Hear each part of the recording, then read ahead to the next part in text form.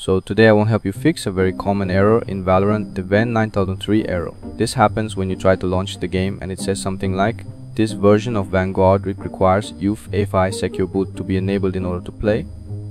I recently faced this issue myself and the fix was actually very simple, so I thought I'd share it with you. What I did was first restart my PC and while it was starting up, I just kept pressing the delete key on my keyboard. This took me into the BIOS screen. Now don't worry if BIOS looks a bit complicated, we're only going to change once one simple setting. Once you're inside BIOS, you'll usually see different tabs at the top like main. You just need to go to the security tab. Inside the security tab, there's an option called secure boot. In my case, it was set to disabled by default. All I had to do was click on that and change it from disabled to enabled. After that, save changes and exit.